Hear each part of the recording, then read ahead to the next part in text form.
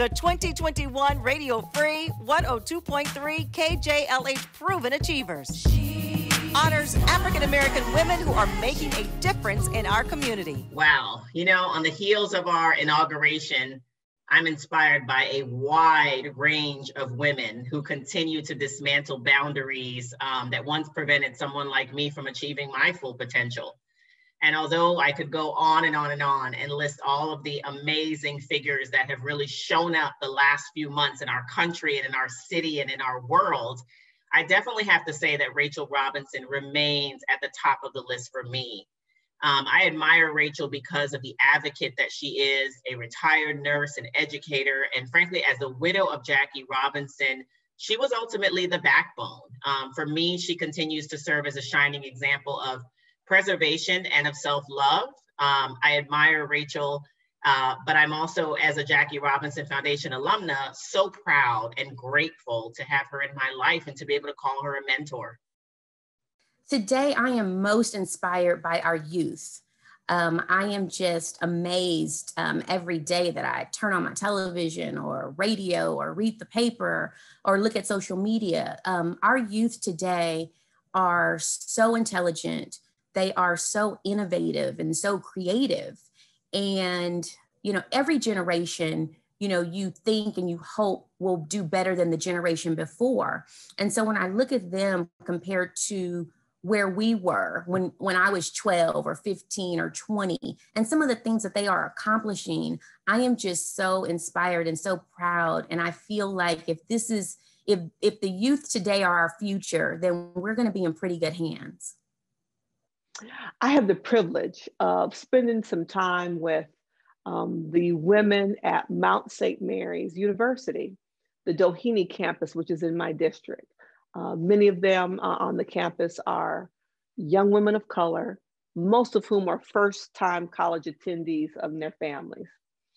And when I spend time with them, I'm painfully reminded that I am further away from them in age than I really think I am.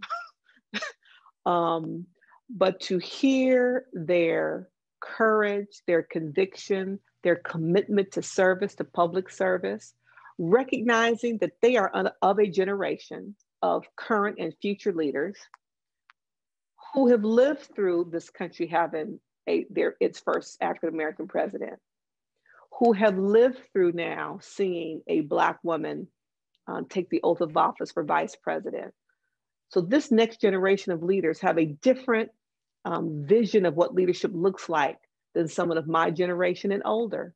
And so what inspires me is their reality and the fact that the sky will truly be the limit for them because they are living through a time where many of these barriers have been crushed. And so when you think about their lens about, about what's possible, um, it's beyond my imagination, and I'm just ready to get out of the way and let them soar. There's not one person, but I am most inspired by people, by elderly people who are still out there making a difference and doing their thing. I am most inspired by people who do not um, use the word retirement as a destination point. I am most inspired by people who know that decades of living should result in decades of giving. I'm inspired by people who don't quit, who don't stop, who constantly persist, who constantly reinvent, who give to other people, who make themselves available. I'm inspired by people who they may sit down and rest, but they keep it moving. People like my father, 86 years old. He's uh, one of the leaders of the resident group in his home. And uh, he's just highly, highly inspirational to me, people like that. I have so many people that inspire me, that mentor and coach me.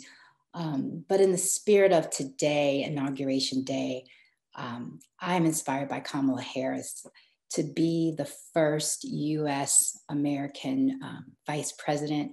That is an incredible accomplishment. She's come a long way and she's had a remarkable career, and I'm really inspired with her vision for a better America. She's got that magic.